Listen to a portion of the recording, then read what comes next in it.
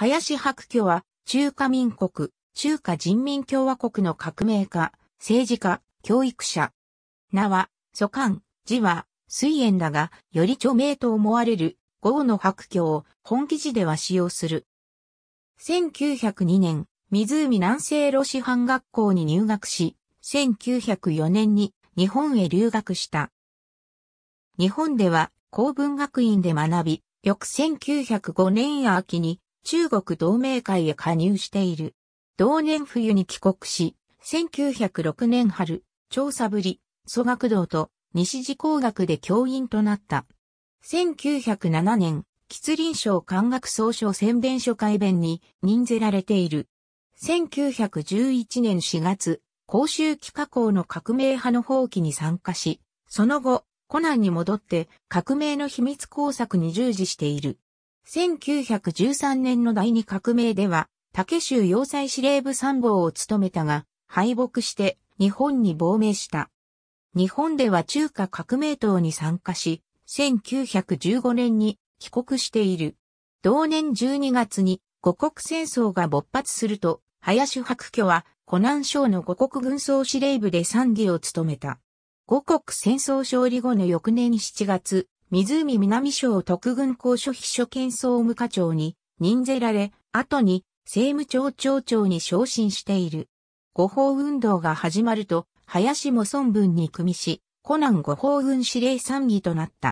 12月には、湖南省財政庁長長を兼ねている。1920年春、広州の大元帥府で参議となり、冬には上海に移って雑誌、革新評論を創刊した。1921年、林白居は中国共産党に加入し、翌年冬には中国国民党でも総務部部長に就任した。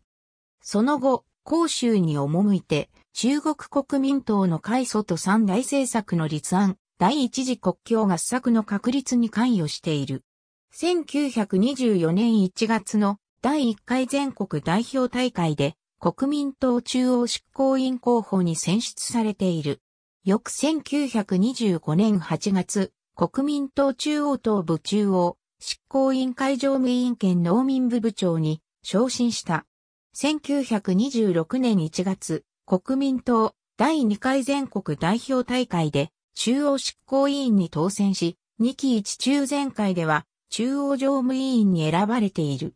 同年4月、林白居は国民革命軍第6軍党代表権、政治部主任に任ぜられ、軍内で共産党の組織を確立している。10月、第6軍に従って南省へ進軍した。1927年3月、国民党2期3中全会で政治委員会委員と軍事委員会秘書長に選出されている。4月には厚生省政府委員に任命された。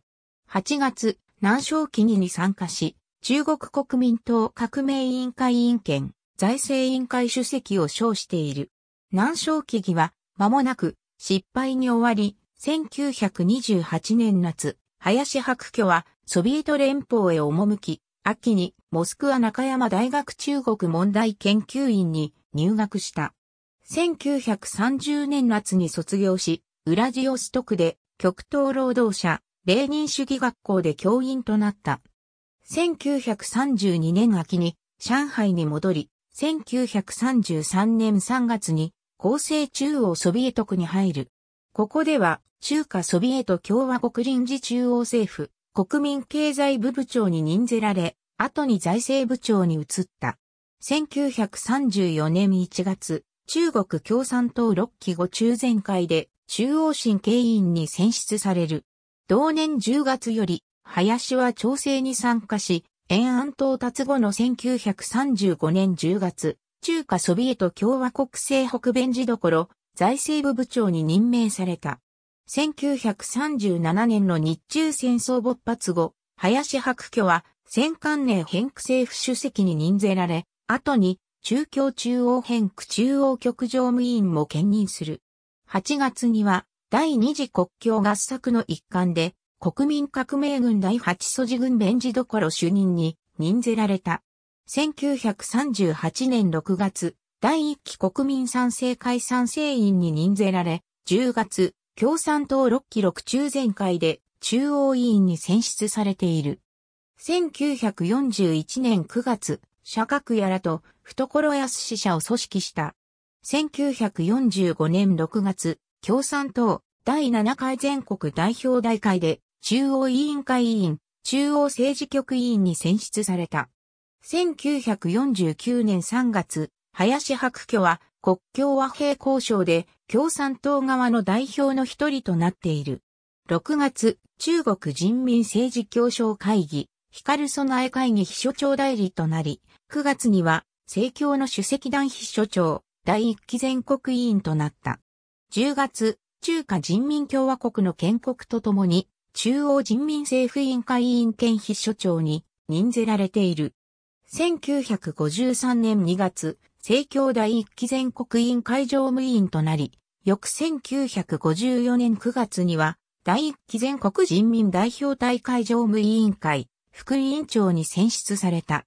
1956年9月、共産党第8期中央委員会委員、中央政治局委員に任命される。